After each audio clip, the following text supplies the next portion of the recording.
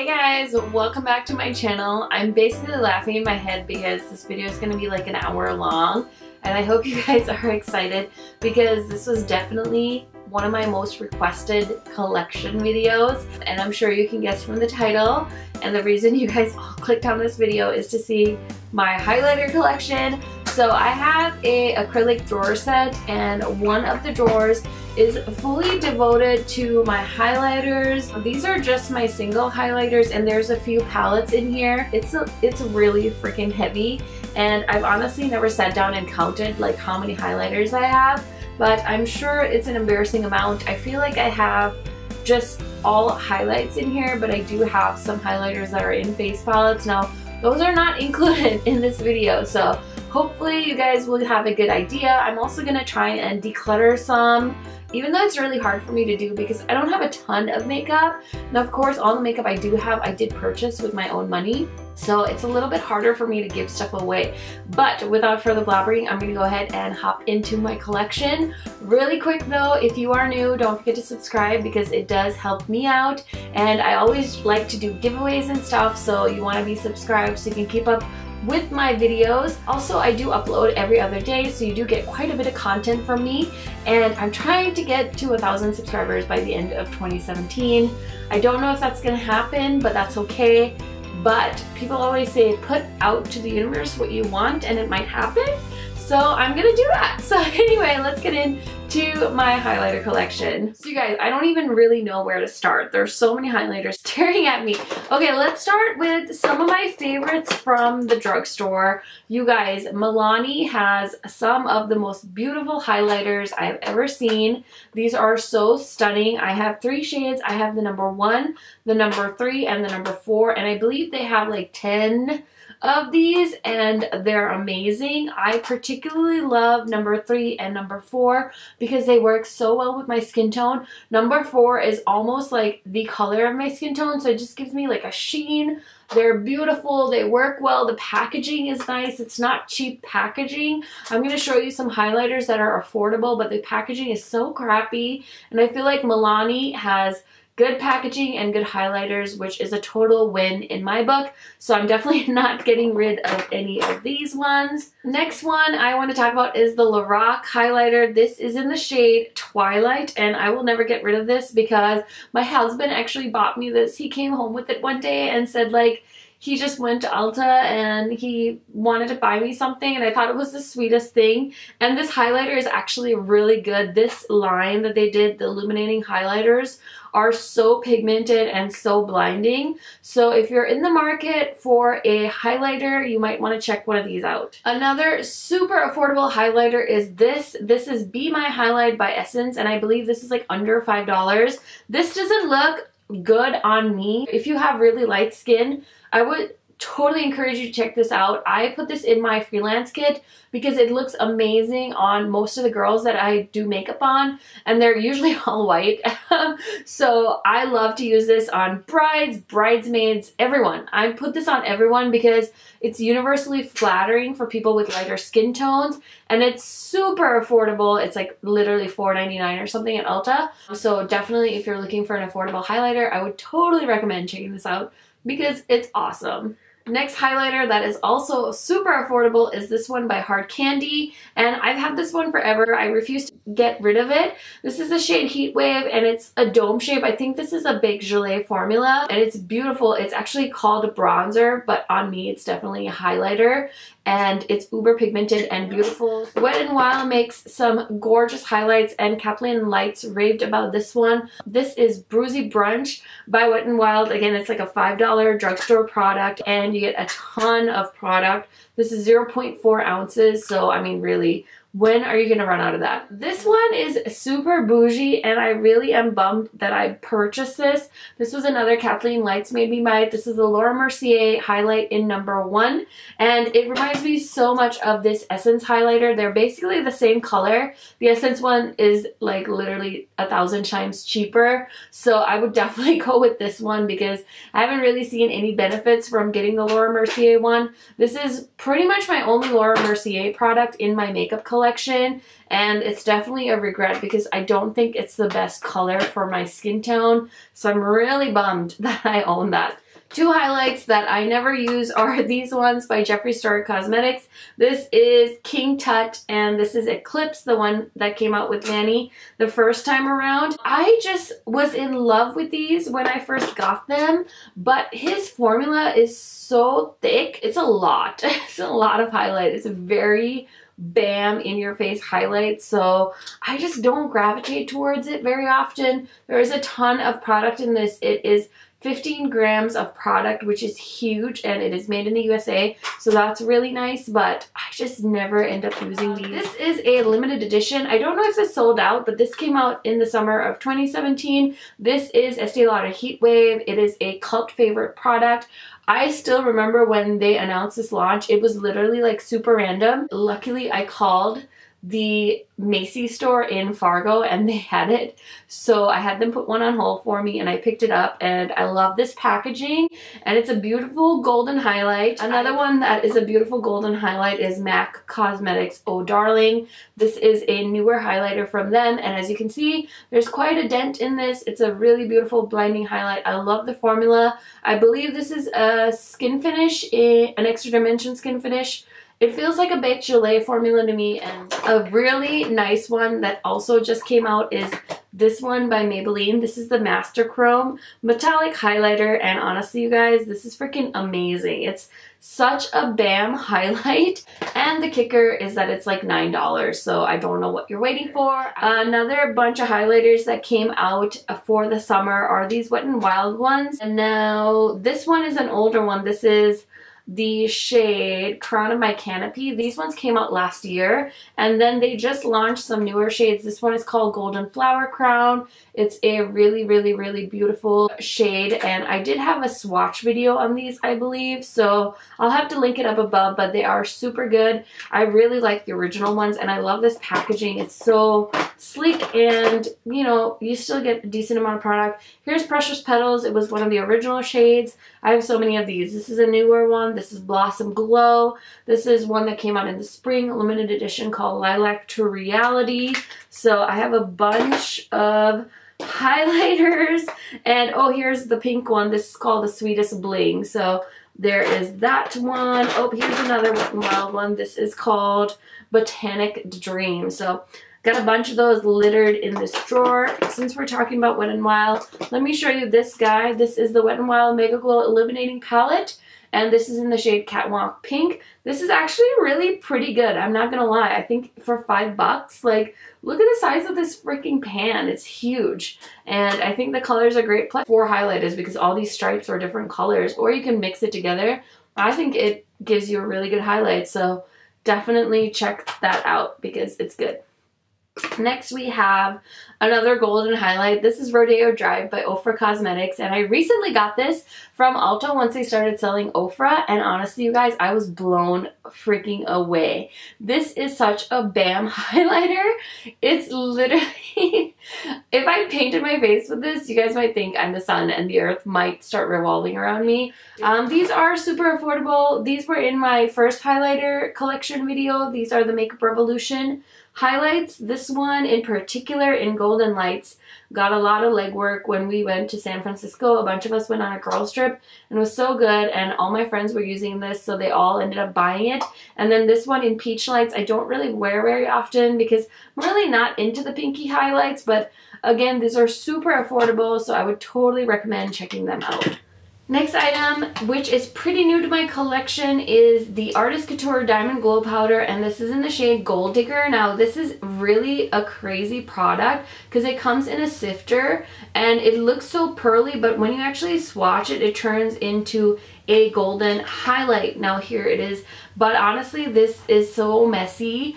So many people rave about it on YouTube that of course I had to have it, but it's so, so messy. I wish I never bought it. And I would honestly caution you, if you're looking for like a powder highlight, this is not it. This is more like a pigment. I would suggest like skipping this because you really don't need it. This is the Stila Starlight Star Bright highlighting um, palette. This is from Holiday last year. It's actually really good. I ended up getting it on sale from Macy's. This shade Kitten is wonderful and also the shade Bronze is really pretty. So I am glad I picked up this palette and it was even better because it was on sale. So that made me really happy. Next, you can't really talk about a highlighter collection and not mention the Laura Geller Gilded Honey. This was such a hit when it first came out. A lot of people were using it as a dupe for MAC Whisper of Guilt because you couldn't get Whisper of Guilt because it was limited edition. Like when I started watching YouTube, Whisper of Guilt was just like an urban legend because they were never relaunching it, but they did because I showed it to you guys in my holiday palette video. But anyway, this is still one of my favorite highlighters. I don't use it enough, it is beautiful. Next highlighter is from Jouer Cosmetics. Again, this one was like an Instagram, YouTube made me buy it.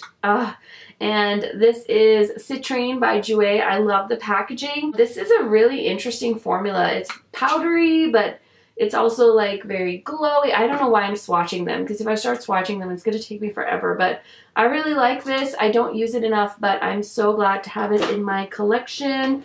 Next, I still have my Becca and Jaclyn Hill palette. I keep thinking that I should put this in like a project pan, but I don't know that I'll get through it in my lifetime. Like it just, it seems like so much work to try and use up a whole highlighter palette. You know what I mean? Next I have this Flower Beauty palette. This is actually really good. This is the Shimmer and Strobe highlighting palette in the shade SP1, I think. This formula is so yummy. I would totally recommend this. It's like $12 at Walmart. So highly recommend y'all checking that out. And no highlighter collection video is complete without a talk about the Becca Shimmering Skin Perfectors. These really started it all for the highlighting game and I have four shades. This is the shade Opal. Again, this does not get enough love in my collection. I think they make such beautiful highlights. I felt like I was going to buy all of the Becca highlighters, but I actually stopped with the four, so I'm really glad for that because as you can tell, I have a lot of highlighters. But if I was going to recommend one like formula to you that's like 100% foolproof, the Becca ones are it. This is the rose gold highlighter. This is currently in my project pan because I can actually see the pan, which is not the case in a lot of my highlighters. So I'm working towards panning this. Hopefully I will get there. Then I have, of course, Jaclyn Hill's Champagne Pop, another beautiful golden highlight for my skin tone. You guys 100% need to go pick that up if you are a fan of golden highlights. And then this is actually the first one I ever bought. This is Topaz by Becca. It is definitely a darker shade, so if you are of lighter skin tone, I don't know that this is going to work for you, but with my skin tone, it works. And then this one was sold out forever, and I was so pumped when they relaunched it. This is Anastasia So Hollywood. You guys already know it's a beautiful golden highlight and I'm so glad it's in my collection. So another highlighter from the drugstore is the Makeup Revolution. This is the Shimmer Brick Radiant and these are a dupe of basically the Bobbi Brown Shimmer Bricks. I don't own any of the Bobbi Brown highlighters, and I honestly don't use this one enough. I think the Makeup Revolution brand highlighters are pretty good, guys. Don't sleep on them. They are actually pretty good. Next is another regret. Like, I don't know why I bought this. Actually, I do know why I bought this, because Tarte had a shipping minimum on their website, and I was like, well, how bad can it be? And this reminds me so much of the Artist Couture formula. So again, if you have this and you think it's messy, don't buy anything from Artist Couture. It's basically just a jar of glitter and it gets everywhere. And it's beautiful and shiny, but you can't like concentrate this on your face. And so trying to apply it on your cheekbones is an absolute nightmare. It might be a great like all over your body kind of highlight. So maybe I'll try and use it for that purpose. But overall, this is a lot of work and I don't have time for it. This is my favorite. This is MAC Cosmetics Whisper of Guilt and then there's a blush in there. This was a holiday collection and I am so glad I bought this. Another fantastic golden highlighting shade for my skin tone so I'm glad I have that. This is the Mariah Carey highlighter. I actually I just bought this like to collect it. As you can see, it's still in the box and I haven't used it, but I just thought it was so beautiful. I'm not like some crazy Mariah Carey fan, but I can appreciate beautiful makeup and then there's Mimi's face in there. So I just think it's beautiful and maybe someday I'll use it, but for right now, it's just gonna sit in its little box and be pretty and I'm just gonna like brag about it to you guys because like, hello, it's a MAC highlighter. Like, how many cool points does that get me? I'm just, I'm kidding guys. I'm really sarcastic. I'm sorry if you don't get my sense of humor. Oh my gosh, I totally lied about a Bobbi Brown highlighter. I do have one. This is the problem with having so many highlighters. I forget. This one is gorgeous. This was a holiday one and it's in the shade Bronze Glow and it's just so beautiful and soft and it's a baked gelée formula. I love Bobbi Brown packaging. It's so simplistic. There's something to be said about simple packaging, you know? Sometimes people try to do too much. This is the newest highlight in my collection. This is Mirame by Desi and Katy and Dose of Colors. Oh my gosh, you guys. This freaking highlighter, whew, it's like wet on your face. It's amazing. I love the packaging. I'm so pumped I got this and I'm so happy to support Desi and Katy.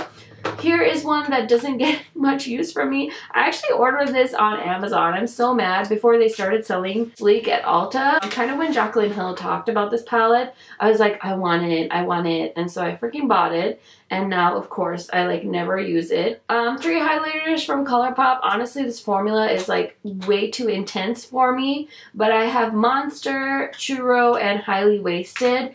They're so pigmented and I personally like powder highlights. It's really hard for me to work with these highlighters and then you have to like use your finger. I'm more of a brush girl, so these don't get enough love for me, but I will be keeping these in my collection because you never know when you might need to do somebody else's makeup and you might need an intense highlighter. Okay guys, so I was getting ready to end this video when I realized that I hadn't talked about the makeup palettes that I had or some of the other palettes I had. So let me run through these really quick. This is also a newer one to my collection. This is the NARS Bord de Plage highlighting and bronzing kit and I basically bought this whole thing, spent like $60 on this whole thing for this highlighter in Glate Oh my god. Like I don't have enough gold highlighters in the world, but this one, ah, it's so good. I love it so much. And this palette is so pretty and this mirror and it's just, it's just, this is actually good NARS. Like when NARS does something right with their palettes,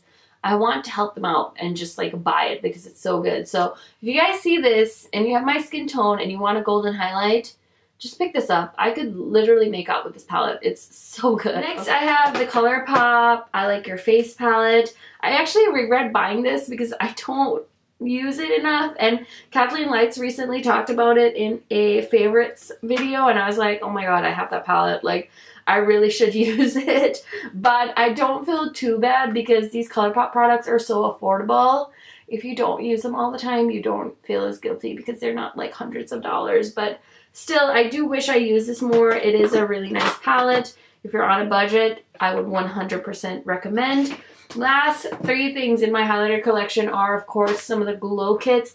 I did pick this one up. This is the Aurora Glow Kit. And I just thought that I wanted to give colorful highlighters a chance. I passed on the Moonchild one because I felt like that was very cool tone, but I thought this one was a little bit better for my tan skin. And, um, you know, I like it. I don't use it a, a lot, but I think this will be so fun. And I think there's a time and a place for something like this. And that time and place will come and then this palette will rise to the occasion. So I'm glad I have something like this in my collection because I do think it's something fun, a little bit different. And it's always nice to have a little bit of variety in your life because God knows I have enough gold highlighters. And of course I have the Glow Kit in Sundropped.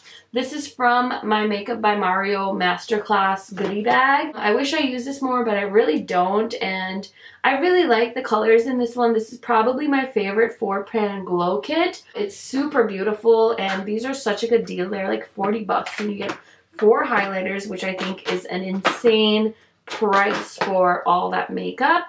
And of course, I had to buy the Nicole Guerrero Glow Kit. This one was also a little bit more unique, and I did use this a ton when I first got it, but of course, being a makeup junkie, new stuff comes out all the time, so I have been distracted from this one, but I do really like it, and I would recommend it if you guys are looking for a highlighting palette. Last one is the latest one also that I picked up. Another one from Dose of Colors. This is one of their permanent shades. This is Gold is the New Black. It is Very nice, very luxurious packaging. It comes with a mirror, so more points for them and I don't have much to say about this because I haven't really tried it. Okay guys, that is everything that I have in my highlighter collection. I have a feeling I probably missed a few here and there, but that's okay. You guys get the gist. I have a lot of highlighters. If you have any questions about any of the products I talked about today, definitely leave me a comment down below. Thank you guys so much for watching. I really hope you enjoyed this video. I will list my other collection videos